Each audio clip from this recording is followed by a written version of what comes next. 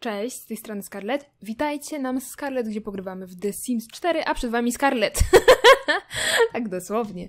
E, Scarlett Roseville, czyli matka Polka, matka bąbelków, które nam się produkują w jej brzuchu w związku z licznymi ciążami, w które zachodzi z obcymi facetami. E, Czyli najbardziej patologiczny challenge na SimStubie przed wami. 100 dzieci. W skrócie jest to ekspresowa wersja, w której to Scarlett e, nie ma jakichś takich męczarni związanych z tymi dziećmi, po prostu zachodzi w ciążę, rodzi, zachodzi w ciążę, rodzi, dzieci się dosyć szybko postarzają, także nie ma tutaj z tym problemu.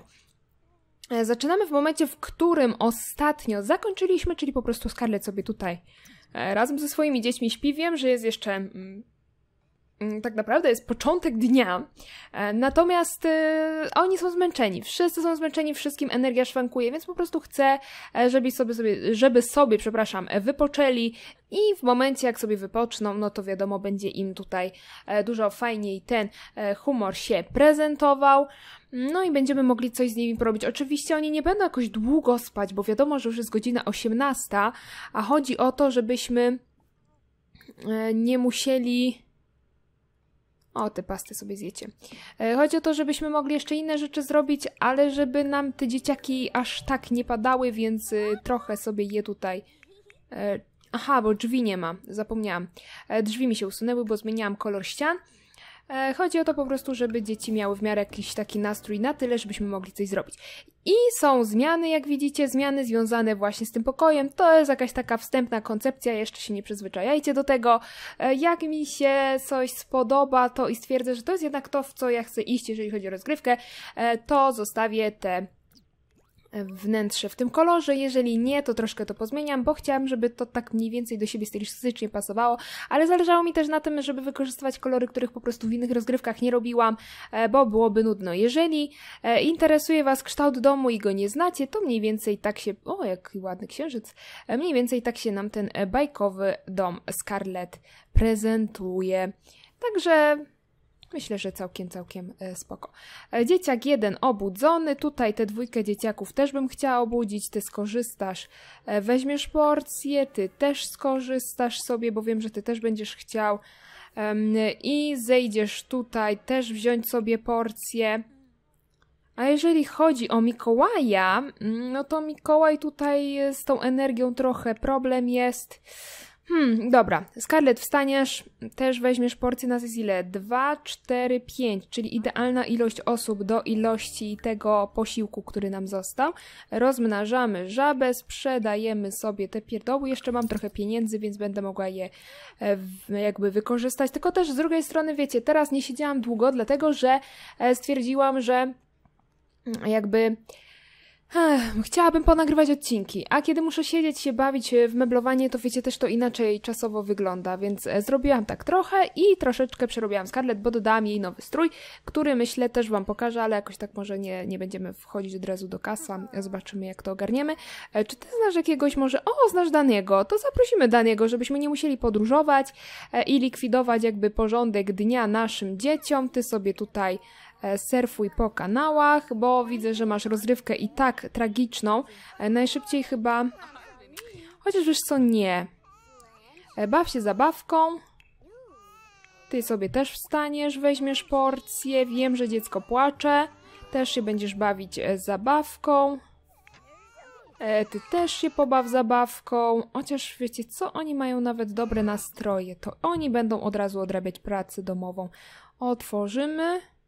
Jest jedna praca domowa, jednej brakuje, no to robimy kup książki. I szukamy tutaj dla, nie dla małych dzieci, tylko dla dzieci. Są pamiętniki też, ale nie bierzemy pracy domową i tę pracę domową będziesz sobie ty odrabiać. Otworzymy. Praca domowa wędruje do ciebie, ty odrabiasz lekcje, ty odrabiasz lekcje i mogę puścić tryb życia. Scarlett, jak sobie. Czy ja cię wywołam? Czy ja serio do ciebie zadzwoniłam? Uuu, popraw humor. Ale wiesz co, dzieci tutaj strasznie e, wyją, więc dowiedz się w czym tkwi problem. I zaraz się zajmiemy Denim. E, Denny, kochani, Denny to jest mąż Sandry. Sandra to jest siostra Billiego Joe z RWDG pokolenie drugie. Czyli znowu w klimacie RWDG jest to starszy brat Joey'ego. Joey przed chwilą, przed chwilą, w poprzednim odcinku został e, ojcem naszych maluszków. Czemu ty się nie bawisz zabawką? Chcę, żebyś ty się bawiła, a nie jakieś takie... Dziwne rzeczy. Ty sobie zjedz to. Mm, dowiedz się, w czym tkwi problem. Zaraz się Denny tobą zajmiemy, zaraz zostaniesz ojcem naszego dziecka. I podrzucaj. Popraw humor. Czemu ty się nie chcesz bawić? Baw się, baw się, baw się. Może ja im wolną wolę wyłączę. Nawet nie wiem, czy mam tutaj wolna wola wyłącz. Zastosuj zmiany. No żeby wiecie, oni nie robili sobie, co im się żywnie podoba, tylko po prostu robili to, co im każe, żeby robili. Ty zjesz i też później będziesz się bawić, bo ty też jesteś panem mruczkiem możesz. Dobra, Scarlett. E, moja droga, poznaj. Pochwal szczerze. Bo to jest nasz kolejny ojciec. Rozmawiaj o wykwintnych potrawach, romantyczne oczaruj. A mogę dać kilka razy to oczaruj, bo wtedy będzie jakby szybciej, szybciej się to będzie im ogarniać, ta miłość. Z tego co wiem, bo to zawsze jakieś takie punkty podczas tego oczarowywania dochodzą. Uuuu,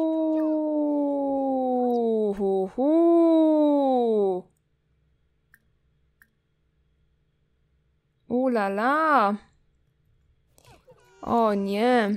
Zmień brudną pieluszkę.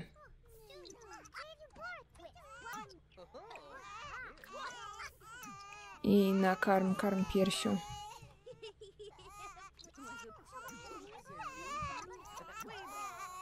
Praca domowa odrobiona jednego i drugiego.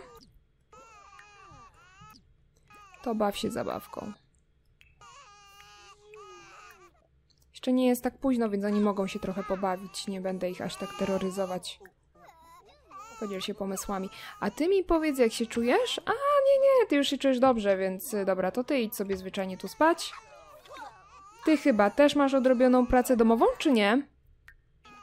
A nie macie, dobra, to nie, nie, nie, to sorry. Żaden sen, tylko odrabianie jeszcze lekcji przed wami.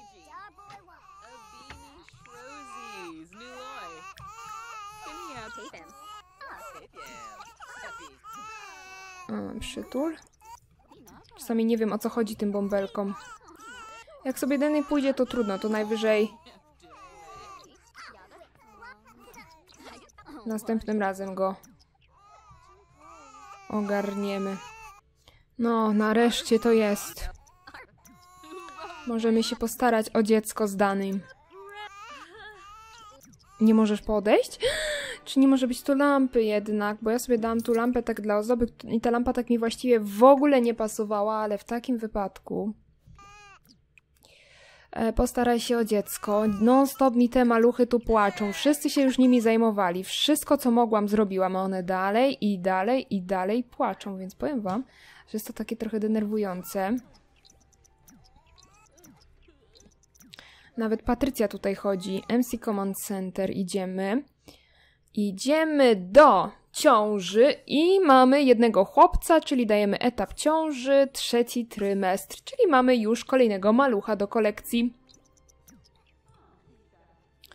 I Scarlett, musisz iść spać, bo y, u ciebie to jest jakiś dramat.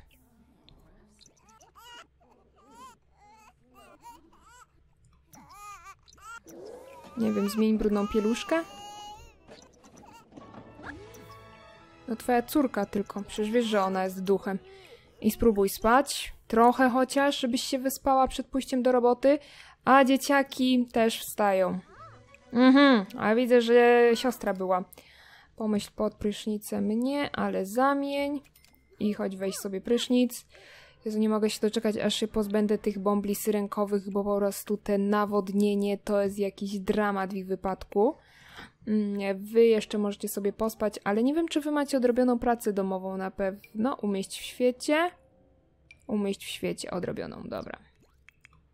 Scarlett, trochę będziesz spała w momencie, aż oni się nie nawodnią, a przynajmniej aż się nie nawodni nam nasza córka Martyna. Jezu, ale miałam taki problem, żeby ten Dani w ogóle zechciał zostać ojcem dziecka Scarlett, że nie wyobraźcie sobie. Na przyspieszenie. W ogóle ja to będę wycinać, żeby was nie irytować, ale dramat jakiś, nie wiem, on chyba wyczuł, że podświadomości miał, że nie, że nie może być ojcem dziecka kolejnego. A syrena alarmowa znowu się włączyła. Tym razem brudna pieluszka.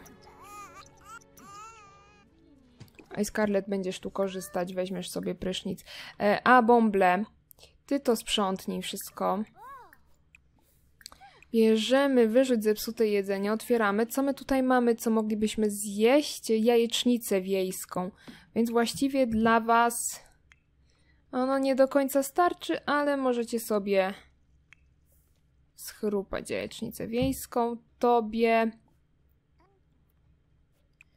zatrudnię obsługę. Ty nie możesz sobie sam wziąć jedzenia?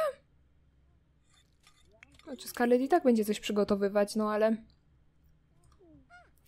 Myślałam, że tyle jesteś w stanie. Podaj śniadanie. O, może być tost francuski, Scarlett. Dobrze mieć taką córkę tutaj na podorędziu. I ty sobie później będziesz korzystać. Tobie już damy tutaj, skorzystaj. I weź porcję. A ty też wstań. Nie, możesz skorzystać i weź porcję. Nie jesteś aż tak głodny jeszcze, zresztą i tak dla ciebie nie ma jedzenia. Nie jest przewidziane jedzenie dla niego. Wow, Scarlett! Ty potrafisz gotować. A właśnie, miałam wam pokazać strój, jaki jej zrobiłam i już idziemy do tego. Jest to ten strój, e, czyli totalnie sweterek z uniwersytetu i do tego jeansy, czyli ten taki beżowy sweter, który miała po prostu wymieniłam na e, to, co właśnie widzicie. E, znowu widzę, nie się zaczyna. Trzeba będzie dowiedzieć się, w czym tkwi problem, ale wiecie co? Ja pierdzielę, najpierw niech sobie Scarlett zje. Tutaj jeszcze damy, jakby ktoś z Was chciał sobie zjeść. Weź porcję. Uch, udało nam się wymienić jakoś. E, czy ktoś jeszcze? Jeszcze ty powinieneś chcieć iść pod prysznic, ale wy już idziecie do pracy. Dobra. E, Boże, do pracy, do szkoły.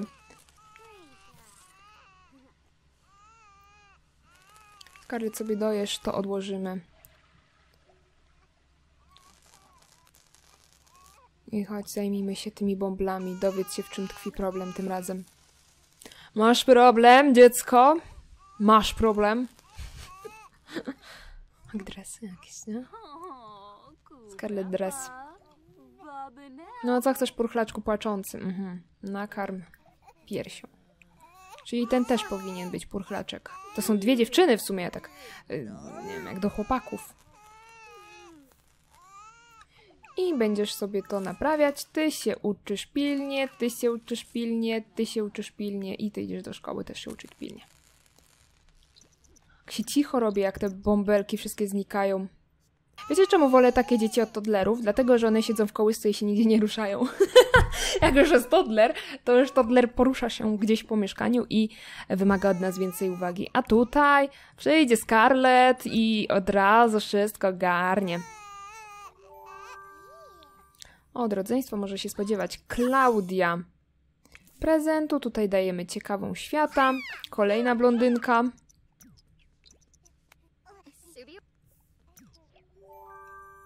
I Maja. Scarlett to jest produkcja blondynów i blondynek. I idziemy spać, a dzieci, kochani, przerabiamy jak zwykle w kasie, czyli modyfikuj i stwórz Sima. Ciach dziecko, ciach dziecko. I co nam wypadło? Pierwsze dziecko wygląda tak, jest bardzo, bardzo, bardzo, bardzo moim zdaniem oczywiście podobne do ojca Joe'ego, czyli mamy taką Maję, a jeżeli chodzi o Klaudię, to Klaudia w sumie też jest do Joe'ego bardzo podobna. Jedno i drugie to blondynki i myślę, że będę się mogła pobawić, o ile chłopców właśnie, jak są nastolatkami, to przefarbuję na siwo, to je na niebiesko, żeby było jakoś tak inaczej.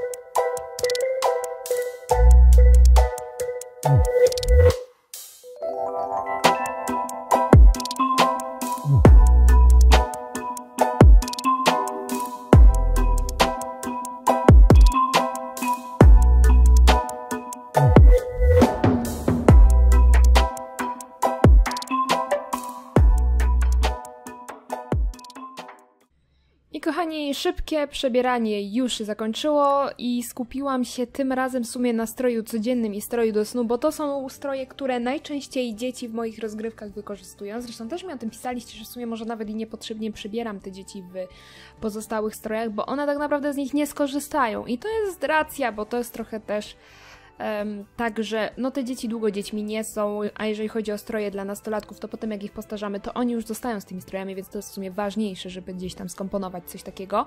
Jeżeli chodzi o nasze dzieciaki, to jedna dostała w sumie taki prosty strój, czyli um, ogrodniczki kolorową bluzkę, natomiast druga dostała tutaj e, coś z gotowców, ale ja bardzo lubię tę jeansową kurtkę, jest przepiękna i właściwie wydaje mi się, że fajnie do niej pasuje. E, nie zmieniałam im fryzur, bo tak ostatnio pomyślałam, że w sumie skoro wyskakują w takich, to możemy je zostawić, bo e, czemu by nie? Jest dużo w tych fryzur i nie będziemy dawać im cały czas tych samych, takie spięte włosy też przecież wyglądają całkiem fajnie z tymi spinkami, także myślę, że to możemy już zaakceptować, ale jeszcze skoro tutaj już jesteśmy, to wykorzystam okazję do tego, żeby pokazać Wam ten e, strój Scarlett e, nowy, codzienny, który jej skomponowałam. E, taki też na luzie ten sweterek bardzo ładnie wydaje mi się do niej pasuje. Ogólnie te pastele jakoś tak strasznie mi do niej pasują, znaczy bardzo mi do niej pasują. Jakoś tak zawsze ubieram na ciemno, a tu widzę pastele, to chyba, że ja mam po prostu jakąś miłość do pasteli i dlatego cały czas tak ubieram. Poprawa ocen, poprawa ocen, nadszedł weekend, nadszedł weekend. Czyli mamy weekend i powiedzcie mi, ty jesteś czwórkowa? Ty czwórkowy. Jezus, nie rozwinęłam wam żadnej umiejętności, dlatego jesteście czwórkowi. A wy jesteście piątkowi, a...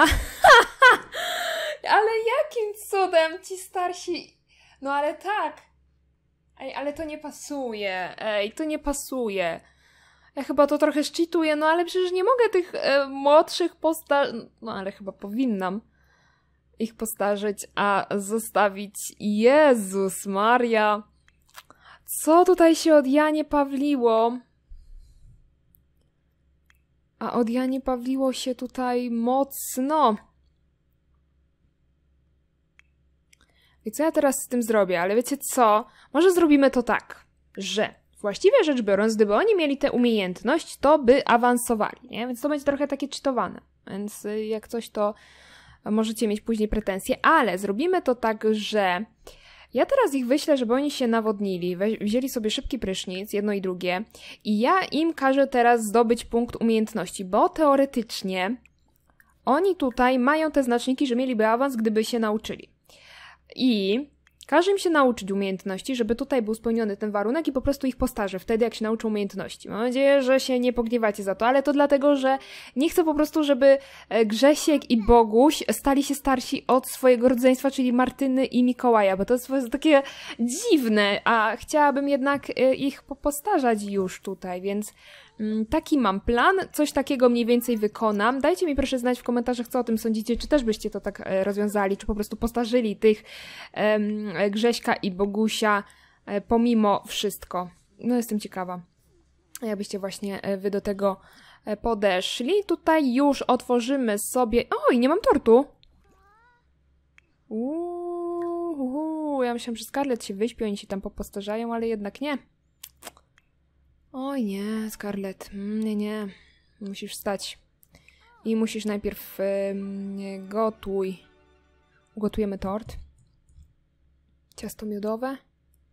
Ciasto kokosowe. A chodź, zróbmy to ciasto kokosowe dla dzieci. Wiem, że nie czujesz się najlepiej, ale... A, życie. Mm, ty sobie to wytrzyj. Skoro już tutaj jesteś. Wy jak się wykąpiecie, to ja bardzo proszę, żeby każdy z was mi tutaj usiadł żebym ja wiedziała co i jak. Każdy. I potem się wami pozajmuję. W sensie po kolei tym, czego potrzebujecie. Trochę rozmowy. Narzekaj na rodziców. Narzekaj na problemy. Wydrwij dyskomfort. Entuzjazmuj się słodyczami. Żartuj o toaletach. Oj, Wercia, daj nam spokój. Wiecie, trochę niech sobie e, ze sobą pogadają. Tu mamy tort, dodamy do niego świeczki urodzinowe. Ale ja jeszcze poproszę Scarlett. E, chociaż właściwie nie muszę jej prosić, bo my tutaj mamy tost francuski i mogę dzieciom kazać ten tost e, francuski sobie zwyczajnie zjeść. Weźcie sobie porcję wszyscy. Wiem, że jest zawołaj na posiłek. Wiem o tym. Wiem o tej interakcji. Nie wiem, czy starczy nam tego wszystkiego dla wszystkich was. Scarlett, jeszcze się tutaj e, wysikasz i pójdziesz e, spać, bo jednak chyba ta energia nie wytrzyma. Trochę sobie odeśpi i za chwilę ją wyślę do jedzenia. A dzieciaki niech sobie tutaj gadają ze sobą, jedzą. I jak mówię, tutaj ta dwójeczka zaraz pójdzie. Czemu ty nie jesz? A zaraz pójdzie, nie wiem, udawać gwiazdę koszykówki, żeby im wybić tutaj ten punkt. No bo to jednak tak głupio się złożyło, ja zlamiłam, zapomniałam totalnie o tym, a nie chcę, żeby to takie było. Właściwie wy i tak nie będziecie postarzone, to na wszelki wypadek, gdyby coś miało się stać, to wy już będziecie się tutaj bawić zabawkami. Żebyście miały rozwinięte te punkty. Idź poudawać gwiazdę koszykówki.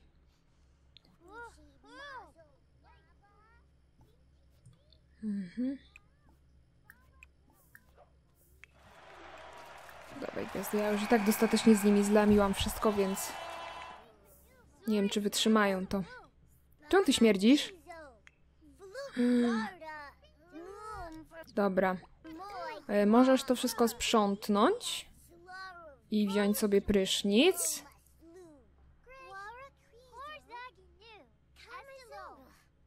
To przeniosę tu i ty e, zdmuchnij świeczki. I teraz dla upewnienia się, że on ma piątkę, piątkowy uczeń, tak, piątkowy uczeń, chodź.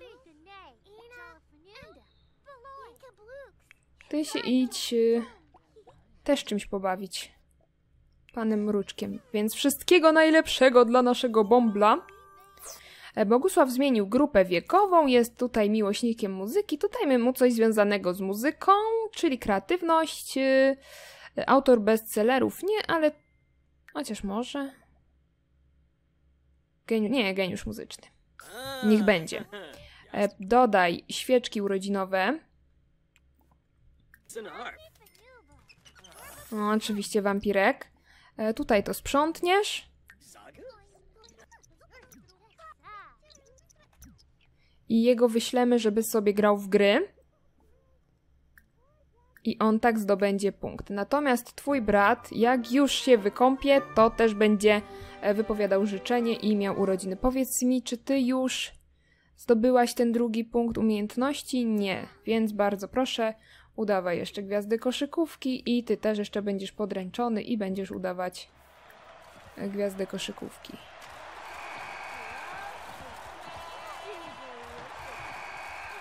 Nie wiem, czy dacie radę. Zaraz będę przebierać, jak oni już wszyscy będą w naprawdę dosyć takim fajnym stanie.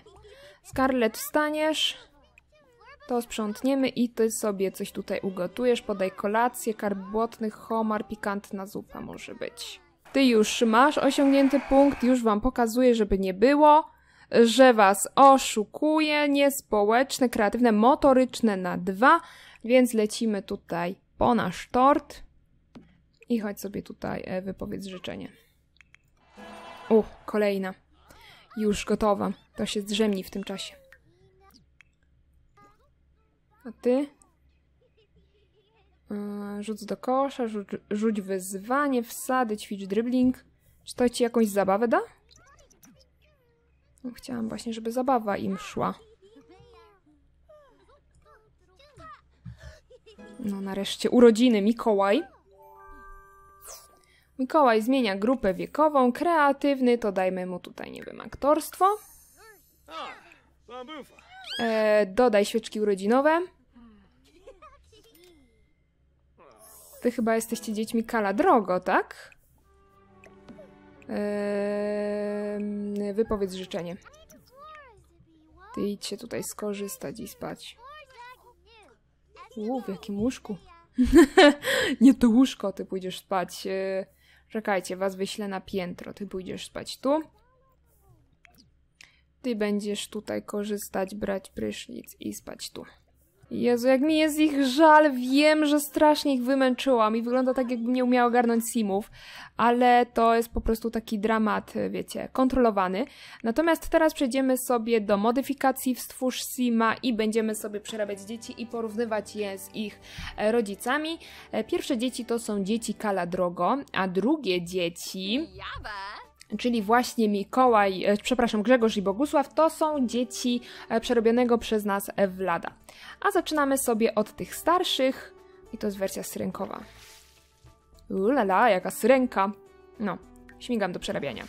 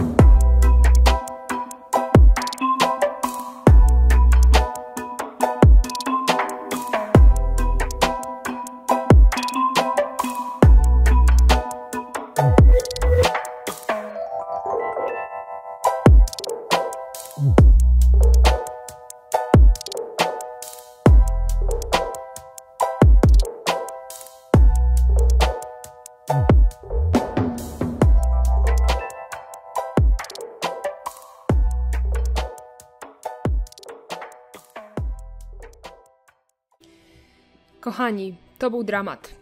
Tak, to był dramat i tych dramatów powtarzać za bardzo nie chcę. E, zacznijmy sobie od Bogusia. Boguś prezentuje się w ten sposób, ma takie jasne włoski, bo mu zmieniłam i dałam mu taki strój, bo stwierdziłam, że do niego to bardzo pasuje. E, Grzesiu. Grzesiu to też jest e, syn Vlada. Ja uważam, że Grzesiu jest przeprzystojny. W sensie dziwny ma profil, ale z samego takiego przodu wygląda naprawdę epicko. E, Nie powiem, żeby nam mm, Boguś źle wyglądał, ale jednak Grzesiu bardziej do mnie przemawia, więc takiego mamy tutaj e, Grzesia. E, Natomiast Martyna oraz jej brat Mikołaj zostali ogarnięci w klimacie Sulani, no bo ich ojcem jest Hal z Sulani, więc wydaje mi się, że to jest takie optymalne. I tutaj Martyna jest bardzo podobna do Scarlett, moim zdaniem. A jeżeli chodzi o Mikołaja, to Mikołaj ma bardzo dużo z ojca, ale też z mamy. Nie wiem skąd wziął tak nisko osadzone brwi, ale skąd się to musiało wziąć, więc niech będzie. E, Dobra, kochani, e, widokiem naszego Grzesia biegnącego właśnie po nowy obiad ja kończę dzisiejszy odcinek Stu Dzieci Express. Mam nadzieję, że Was nie zanudziłam. Instagram, Facebook znajdziecie w opisie. Na Instagram bardzo serdecznie zapraszam, bo tam różne rzeczy wrzucam, więc można się e, dowiedzieć paru ciekawostek albo do mnie napisać, ze mną pogadać. I tyle. Pamiętajcie, wszystkie linki w opisie i standardowo życzę Wam, żebyście się trzymali cieplutko. Cześć! Thank you.